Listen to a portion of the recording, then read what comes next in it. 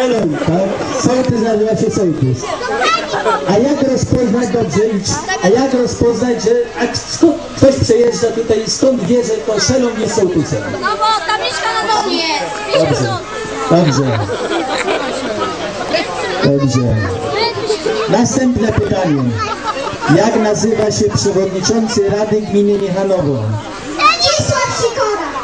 Już ostatni raz. Tutaj mama, mama tu jakaś panna Sikory mi tutaj podpowiada. Dobrze?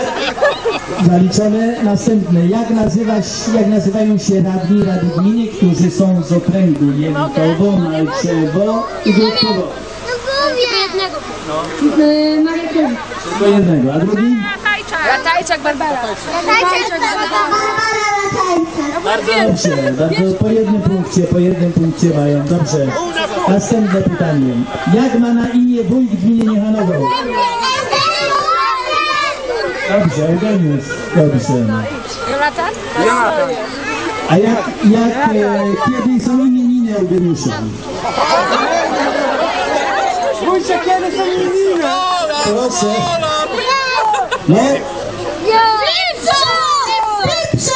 a lipiec ma 31 dni i codziennie baluje?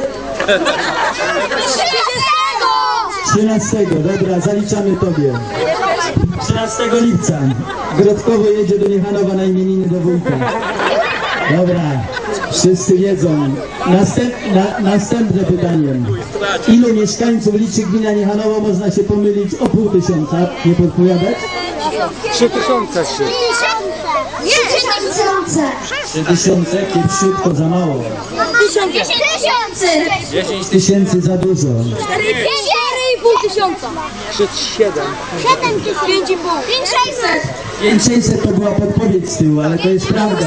5600 nie liczy się. 5600. Nie liczy się. Nie liczy się była podpowiedź. Dobrze, a ile wsi jest na terenie gminy? Dwadzieścia dwa. Dwa nie, sołeckie zaliczymy mu.